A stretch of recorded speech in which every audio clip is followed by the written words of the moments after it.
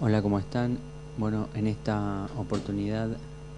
vamos a hablar sobre trauma raquimedular y cuáles son este, las principales observaciones imagenológicas o en los métodos por imágenes en relación a este tema. Este, bueno, los, acá tenemos un poco el temario sobre lo que vamos a desarrollar y los objetivos de esta charla es describir la anatomía radiológica normal del raquis, revisar las manifestaciones clínico-radiológicas de la patología urgente raquimedular y valorar los diferentes métodos disponibles y su implicancia en el diagnóstico de las distintas entidades patológicas traumáticas. Bueno, este, hablando sobre la anatomía normal de la columna vertebral, sabemos que presenta tres segmentos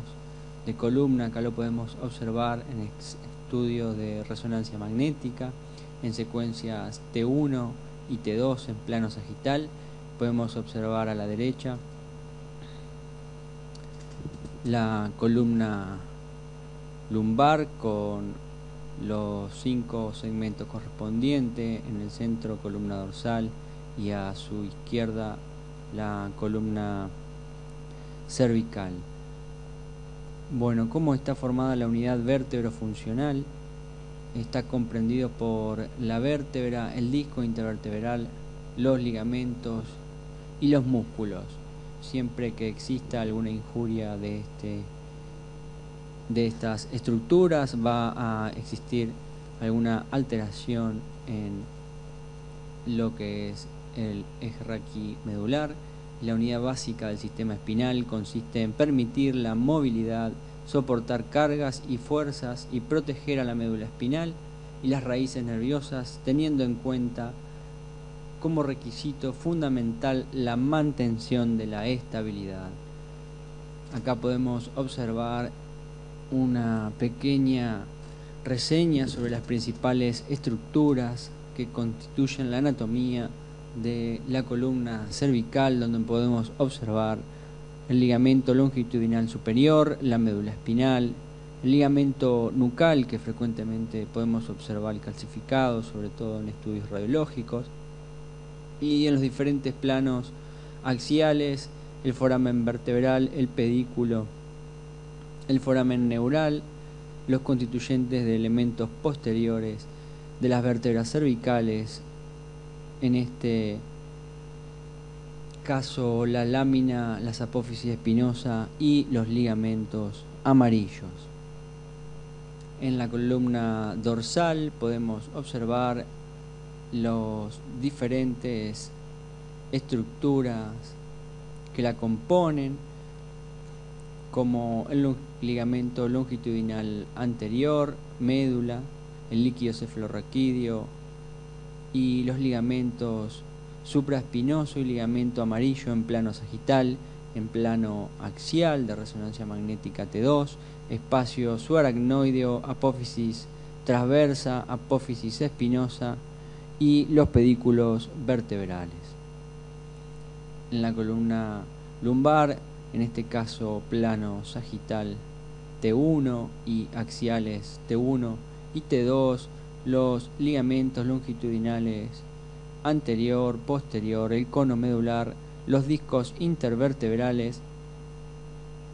y en plano axial podemos observar cómo está marcada la cubierta meningia, en este caso la dura madre, las raíces nerviosas del,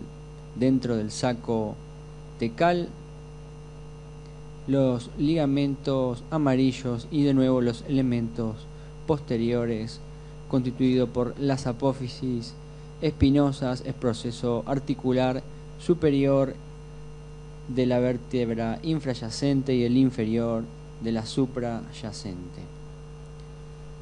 Muy bien, en relación al tema que vamos a desarrollar, sabemos que la patología traumática está constituida por fracturas, luxaciones y aplastamientos vertebrales con o sin invasión secundaria del canal espinal y o lesión medular. a lo que tenemos que agregar las lesiones de las estructuras ligamentarias asociadas. Incluye todas las lesiones traumáticas que afectan las diferentes estructuras osteoligamentosas, cartilaginosas, musculares, vasculares,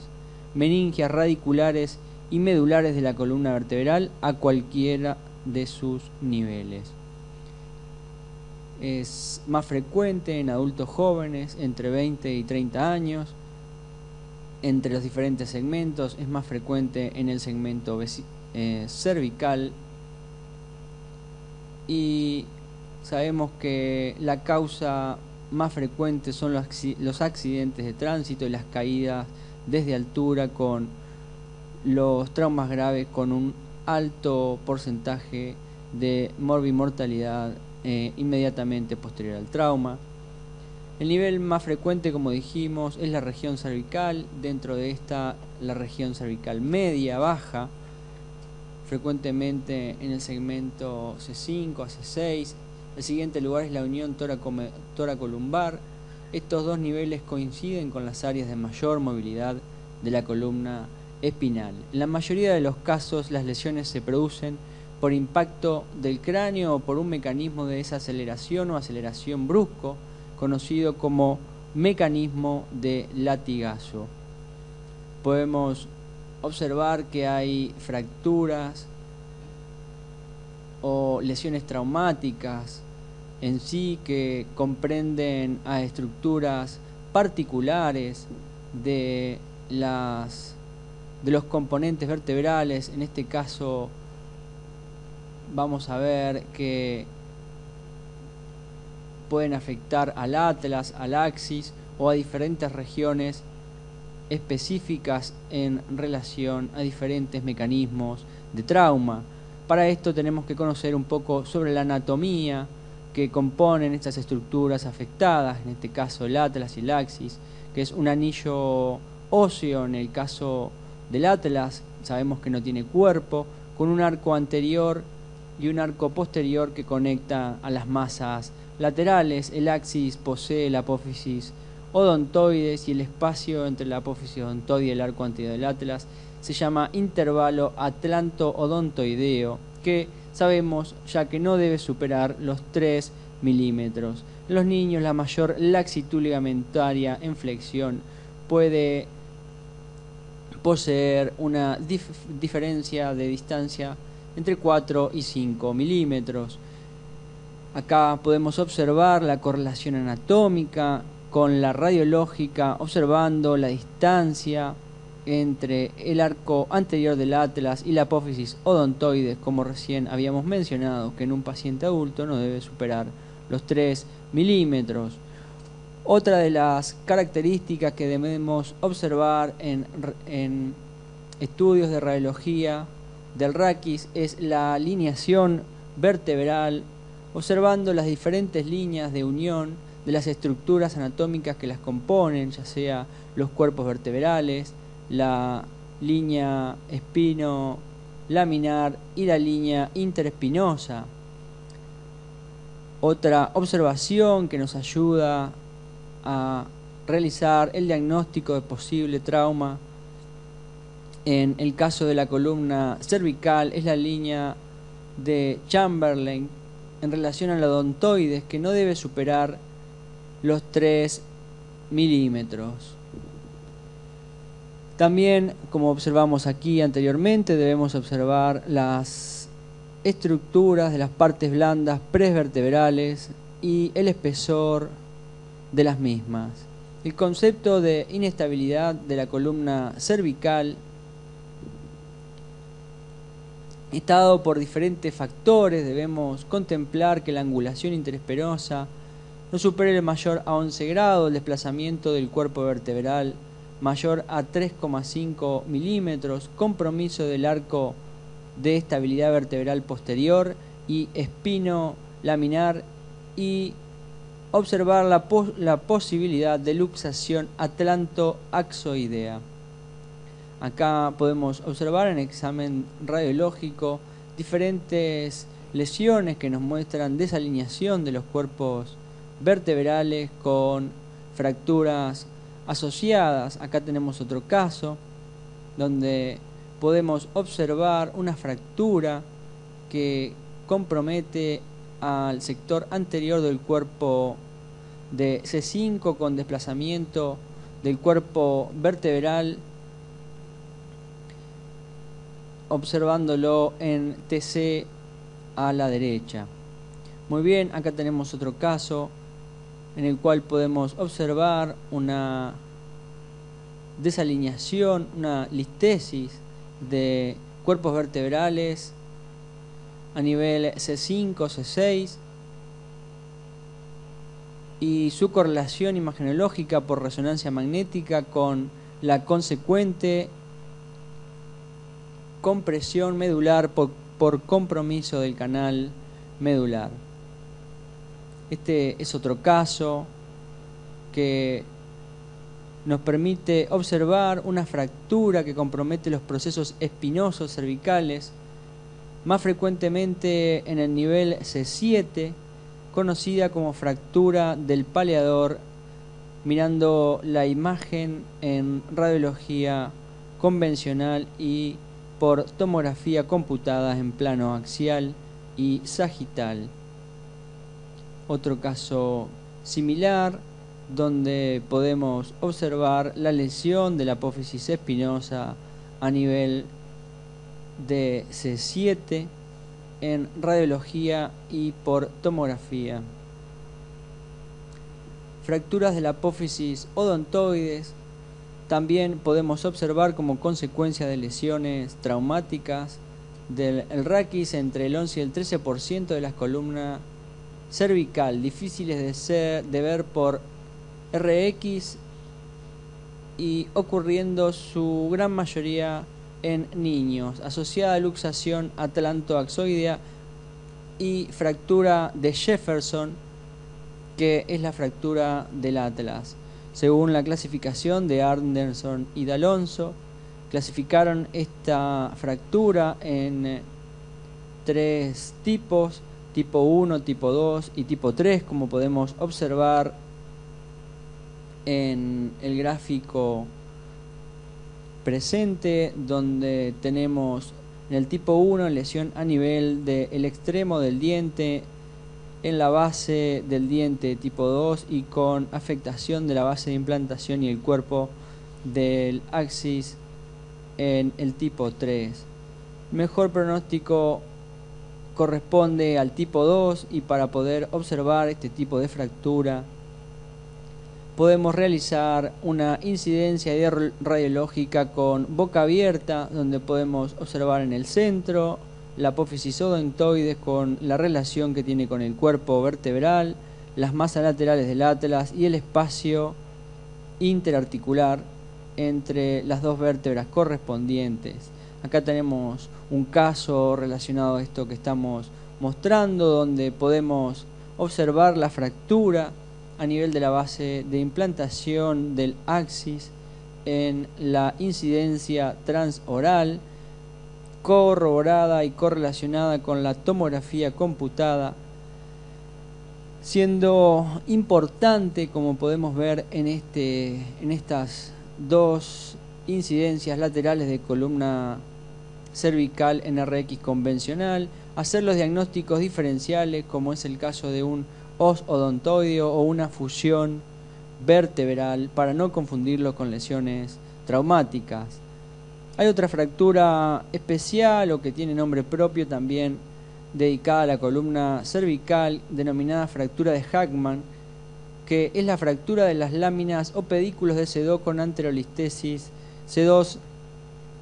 C3. Ahí podemos observarla en la RX, su correlación en la tomografía computada, podemos también observar el conjunto de lesiones, de fracturas del atlas, que puede afectar a las masas laterales, a los arcos anterior o posterior o en conjunto, la fractura, este tipo de fracturas o los tipos de fractura del atlas fueron descritas por Jefferson y una en particular la que afecta a las masas laterales con ambos arcos anteriores o a la unión de los arcos anteriores con las masas laterales lleva su nombre, denominada como fractura de Jefferson, que todos conocemos y ahí podemos observar en el gráfico los diferentes lugares de fractura de las estructuras del Atlas y en la tomografía computada a la izquierda cómo podemos observar la lesión traumática que afecta a esta vértebra.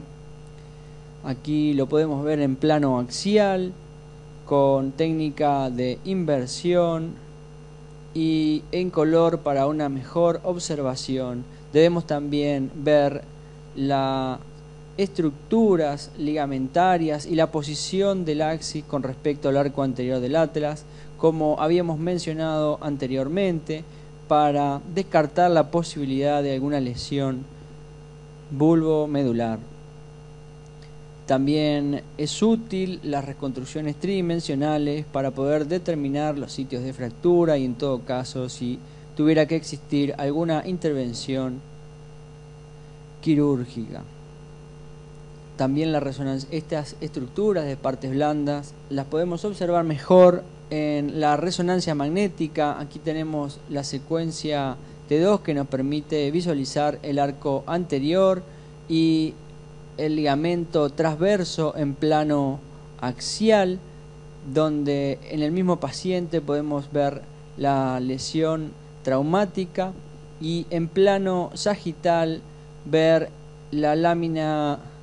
tectal que se continúa con el ligamento longitudinal posterior ¿sí? y también las partes blandas asociadas,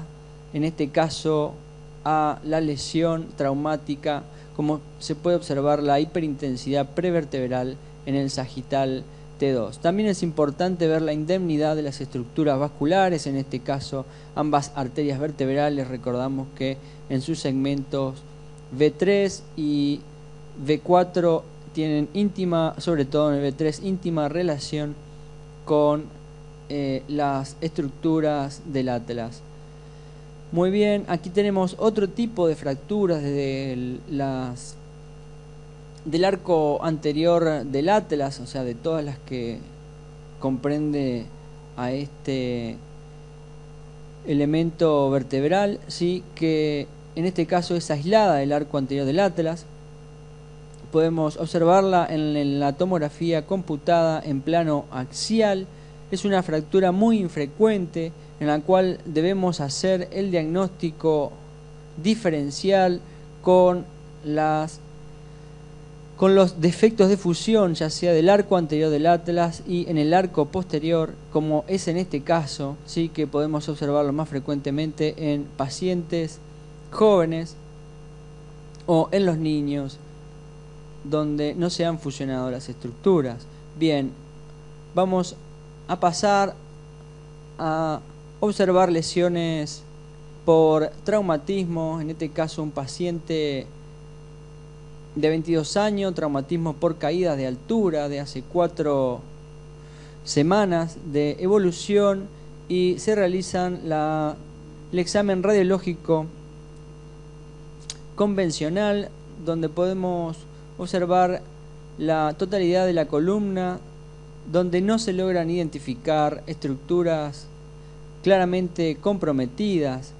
Pasamos a la tomografía computada y se pueden observar alteraciones en los segmentos vertebrales lumbares proximales, en este caso L1 y distal de la columna dorsal, T11 y T12, que serían compatibles por fracturas traumáticas por caída de altura, como observamos en este paciente. Pasamos a la resonancia magnética y podemos ver la señal hiperintensa en secuencias T2 con una señal baja en T1 que compromete a los cuerpos vertebrales y la pequeña línea de fractura mejor evidenciada en la secuencia T1 con el edema asociado en T2. Podemos ver cómo se correlaciona perfectamente la resonancia magnética con los niveles en el estudio de radiología convencional y cómo es de utilidad la tomografía computada fundamentalmente en las lesiones traumáticas para determinar el sitio de la fractura y las diferentes técnicas que nos permiten observar mejor la evolución de dicha lesión traumática en los segmentos explorados. Otro caso de un paciente de 62 años con trauma leve hace 5 semanas podemos observar que la diferencia fundamental en este caso particular es la edad del paciente. Podemos ver los signos de desmineralización ósea con la lesión fracturaria, en este caso por insuficiencia. Acá tenemos otro caso de un paciente de una edad similar que tiene una caída con dolor lumbar y dorsal. Pero podemos observar una lesión también traumática, en realidad observamos dos lesiones traumática, un colapso franco y una lesión que compromete a una vértebra suprayacente a distancia de la colapsada. Y podemos observar también que hay contenido de partes blandas que afecta al cuerpo vertebral. Este caso es el típico de una fractura patológica asociada probablemente a metástasis de algún tumor primario. Bien, y es fundamental que podamos diferenciar entre fracturas vertebrales agudas y patológicas versus osteoporóticas, para lo cual debemos tener en cuenta ciertas características que corresponden a una causa y a otra, que si bien no son 100% determinantes de cada una de ellas, suelen observarse con alta frecuencia en las mismas. Y estas características son o lo que tenemos que observar en realidad son la alteración en la intensidad de señal de la médula ósea en resonancia magnética, la presencia de la línea de fractura, la afectación de elementos posteriores, afectación de uno o varios cuerpos vertebrales, la concavidad-convexidad del muro posterior, la presencia de lesión de partes blandas asociadas a la lesión traumática. Bien, más específicamente, desglosando cada una de estas de estos de estos puntos eh, con relación a la alteración de la intensidad de señal de la médula ósea, vamos a tener que en el caso de un colapso osteoporótico benigno agudo se observa una pérdida de señal incompleta del cuerpo vertebral, pudiendo permanecer una zona de médula ósea normal y estando estas dos áreas separadas por una línea o banda horizontal, como pudimos observar en el caso que vimos anteriormente del paciente con una lesión por lesión osteoporótica. En el caso de un colapso vertebral por un proceso patológico, la alteración de la señal afecta a todo el cuerpo vertebral, debido a la infiltración tumoral. Vamos a ver baja señal en el T1 y en el T2 con una hiperintensidad en la secuencia STIR, e intenso refuerzo con el contraste paramagnético que implica que hay un tejido sólido afectando o reemplazando la medular ósea en este caso. Bien, otra de las cuestiones que tenemos que observar en relación a la intensidad de la señal de la médula ósea en resonancia magnética es el denominado signo del líquido, que se observa frecuentemente en la secuencia STIR o en secuencias T2, que significa la presencia de áreas lineales o triangulares de hiperintensidad adyacente a la fractura vertebral y puede considerarse como un signo adicional de fractura osteoporótica aguda. Es lo que podemos ver en la imagen que señala la flecha, con en el sector adyacente a la plataforma superior del cuerpo vertebral afectado.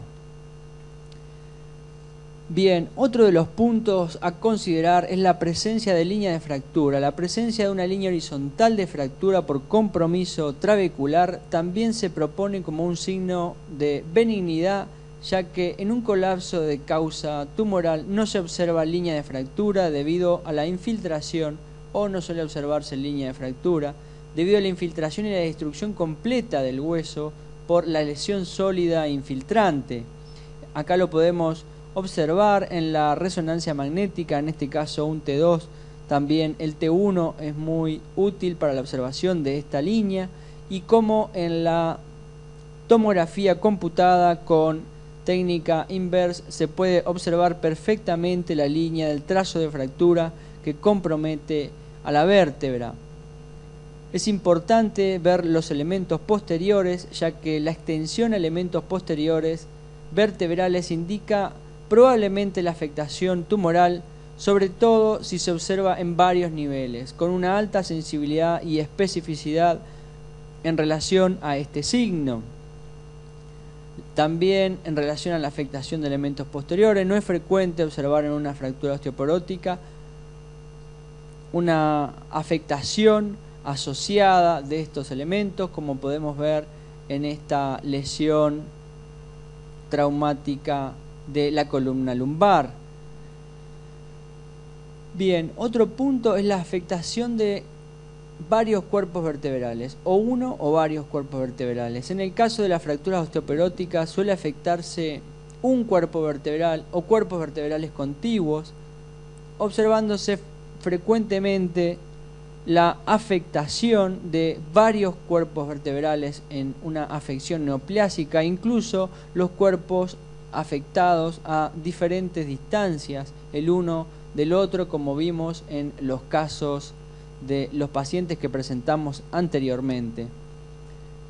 Otro punto importante es la concavidad convexidad del muro posterior, donde la concavidad del muro posterior apoya en etiología osteoporótica, mientras que la convexidad del muro posterior va a favor de una etiología neoplásica. Vemos en la resonancia magnética arriba el abombamiento convexo del muro posterior con infiltración de la vértebra a nivel del cuerpo en secuencia T1 que indica la posible infiltración o probable infiltración neoplásica de la vértebra. Hay un hallazgo muy sugestivo de fractura osteoporótica es la retropulsión hacia el canal raquídeo del fragmento póstero superior del cuerpo afectado, como podemos ver en la tomografía computada en la imagen de abajo. También es importante ver la presencia de masa de partes blandas que ya sea tanto en el espacio epidural como en tejidos blandos paraespinales, apoya la etiología de una afectación neoplásica, como podemos ver en este paciente que tenía múltiples neurofibromas afectados por una neurofibromatosis y observen cómo destruye los cuerpos vertebrales, mejor evidenciado en la reconstrucción tridimensional a la derecha. Bien, como resumen podemos observar esta pequeña tabla donde tenemos cada una de las características que debemos observar cuando nos encontramos con una fractura este, vertebral y debemos hacer el diagnóstico diferencial entre fractura patológica y no patológica y dentro de ellas aquellas cuales sean crónicas o agudas. Pasando a otro tema también importante en lo que tiene que ver con el traumatismo raquimedular, tenemos que hablar sobre las espondilolistesis, ¿sí? donde tenemos desplazamiento de los cuerpos vertebrales, ustedes ya conocen, sobre afectación o no de las pars interarticulares, bien, viendo que las espondilolistesis de origen degenerativo tienen las pars interarticulares frecuentemente intacta, sí que se produce un desplazamiento progresivo en relación a la degeneración de los elementos posteriores. Vamos a ver que existen diferentes grados de severidad de la espondilolistesis, como ya todos conocemos, grado 1, 2, 3 y 4 en relación al porcentaje de desplazamiento de las vértebras comprometidas. En este caso, L5 sobre S1 con un desplazamiento hasta un 25%, el grado 2 hasta un 50%, 3, 75 y un desplazamiento total en el grado 4. Aquí vemos un caso de espondilolistesis tipo grado 1 por resonancia magnética en secuencia sagital T2, STIR y T1. Aquí tenemos otro caso donde tenemos una pequeña espondilolistesis de las estructuras L5, S1 y observando en los parasagitales, en los cortes parasagitales de las secuencias realizadas, podemos ver bien cuál es el origen de la listesis antes mencionada, que está determinado por una lisis ísmica de L5. Aquí tenemos otro caso con una listesis grado 1 y la tomografía con técnica inverse y con técnica de color, cómo se puede determinar bien cuáles son las estructuras afectadas, la imagen radiológica del mismo paciente y es fundamental tener en cuenta las incidencias de radiología convencional que nos permiten determinar este tipo de afectación ya que es un método sencillo, barato y al alcance de todos que nos permite hacer adecuadamente el diagnóstico. Vemos la listesis y en incidencias oblicuas, evaluamos las pars articularis, que en este caso podemos observar las que se encuentran indemnes, bien, y relacionado a la listesis antes mencionada, la lisis ísmica, en este caso de L5, en relación a la patología traumática. La correlación por tomografía computada, donde podemos observar allí en el plano parasagital la lisis mejor evidenciada. Bien, esto nos permite realizar también secuencias con reconstrucciones tridimensionales para determinar tanto la listesis como la lisis ísmica y evaluar la posibilidad de tratamiento quirúrgico si fuera necesario. Otra de las fracturas que son típicamente conocidas a nivel del eje raquimedular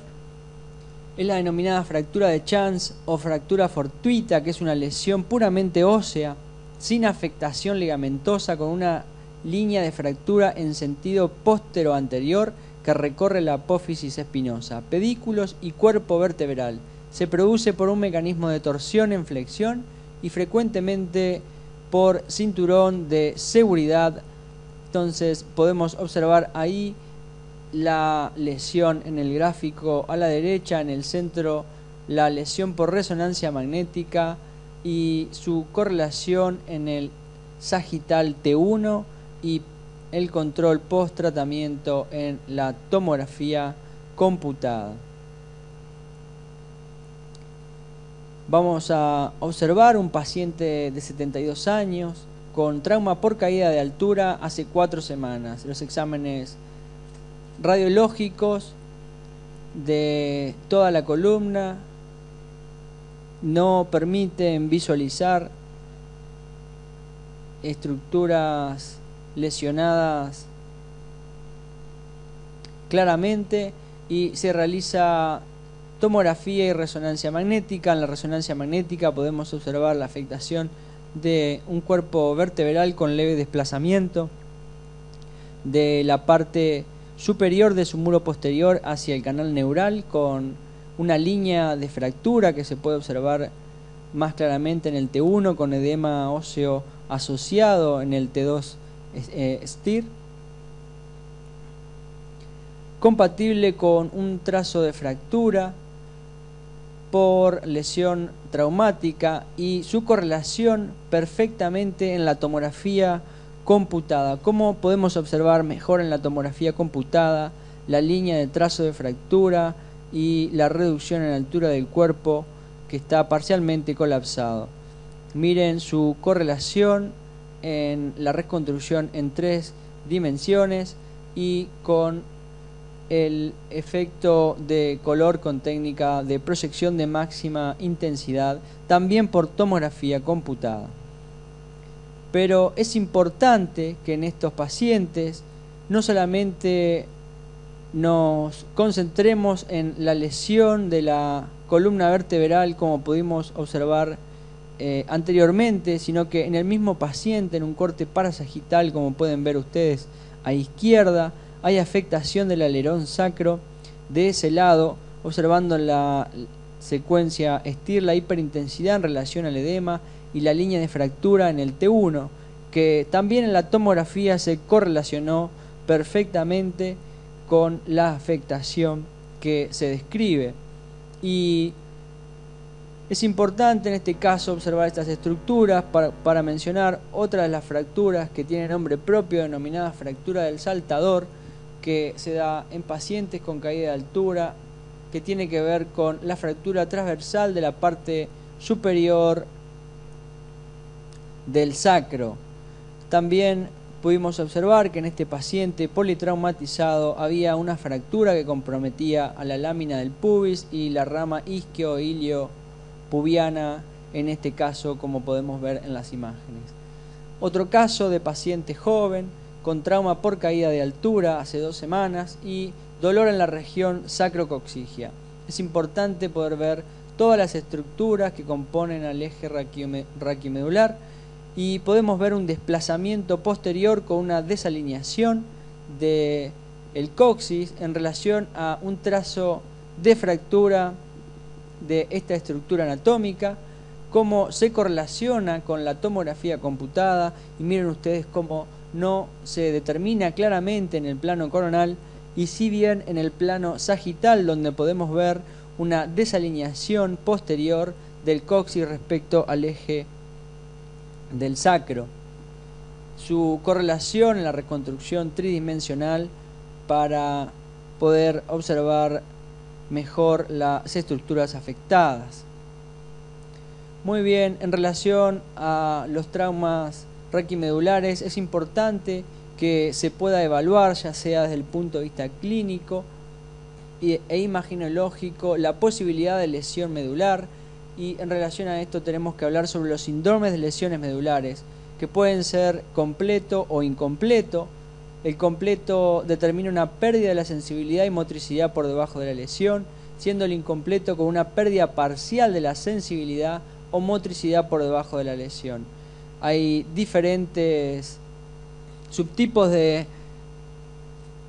síndromes de lesiones medulares, ya sea de cordón anterior o posterior, cordón central, síndrome de Brose-Carr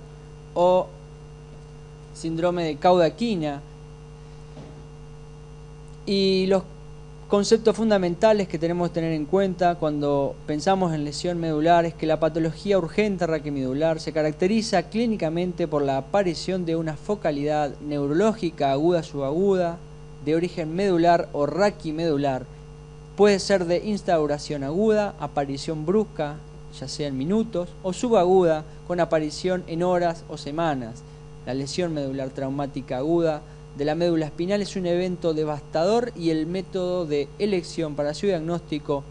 como ya sabemos, es la resonancia magnética, interiorizándonos un poco en los síndromes de las lesiones medulares que acabamos de describir. Vamos a dar los principales puntos en relación a los mismos. Aquí tenemos las características clínicas del cordón, de las lesiones del cordón anterior, que están determinadas por parálisis motora completa, pérdida de la sensibilidad al dolor y temperatura en el plano inferior a la lesión, preservación de la columna posterior con vibración y posición y tacto sin afectación. El cordón posterior tiene fundamentalmente pérdida de la sensibilidad profunda en relación a los síntomas que el paciente esté presentando después de la lesión traumática.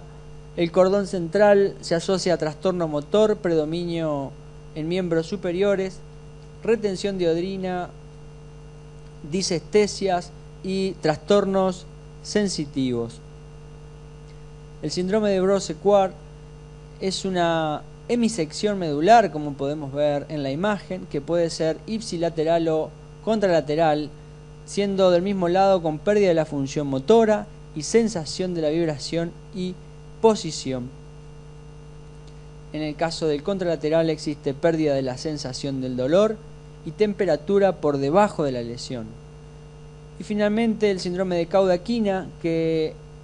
la lesión eh, es asociada a los nervios espinales de la caudaquina y la sintomatología va a depender fundamentalmente de la raíz afectada, pudiendo tener paresia de miembros inferiores, arreflexia, alteración de la sensibilidad, incontinencia vesical o rectal. Hay fuerzas de gran magnitud y especialmente aquellas con un elemento de torsión llevan a las rupturas ligamentosas y lesión o desplazamiento óseo. En estas lesiones la médula espinal puede ser rasgada o dañada por choque directo con el hueso, como podemos ver en esta lesión en el preparado que se correlaciona con la tomografía computada y la resonancia magnética como vimos en un paciente igualmente anteriormente. En la mayoría de las lesiones medulares, la dura y las aracnoides permanecen intactas, siendo que las arterias espinales anterior y posterior usualmente ya están respetadas. Sin embargo, aún con pequeños grados de trauma, en los pequeños vasos intramedulares pueden observarse lesiones, lo cual produce hemorragia y lesión tisular. Aquí podemos ver en casos de resonancia magnética ejemplos de contusiones medulares a causa de discopatía traumática, como podemos ver en este caso. Las características del trauma son multifactoriales y se pueden relacionar con los siguientes aspectos fundamentalmente que debemos observar en la resonancia magnética. Los cambios morfológicos de la médula, que podemos determinar sección medular o compresión medular, hemorragia y daño vascular y también debemos observar los cambios estructurales en la sustancia gris y blanca, sobre todo para encontrar signos de contusión medular. Aquí tenemos una lesión que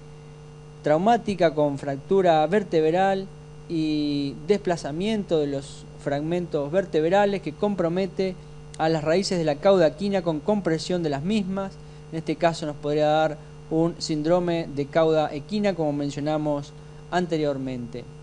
Muy bien, como conclusión a esta pequeña charla sobre introducción al traumatismo raquimedular, podemos obtener que las lesiones traumáticas raquídeas, ya sean fracturas, luxaciones, subluxaciones y signos indirectos de lesiones ligamentarias, pueden ser evaluados inicialmente en forma adecuada con la RX, siendo que es un método económico y sencillo para la evaluación inicial del, del paciente con traumatismo raquimedular. La resonancia magnética tiene una sensibilidad superior a cualquier otra técnica de imagen en la evaluación de la médula espinal, como acabamos de ver, mientras que la tomografía computada es superior en el estudio de las fracturas vertebrales. La resonancia magnética es esencial para determinar el nivel de afectación neurológica, así como la localización en el canal espinal, ya sea intramedular y si es extramedular es epidural o subdural, y asimismo nos proporciona la diferencia entre las mielopatías no compresivas y las compresivas que requieren tratamiento quirúrgico de urgente o en el caso de un paciente con lesión tumoral radioterapia urgente. Bueno, eso es todo. Agradezco su atención y será hasta la próxima.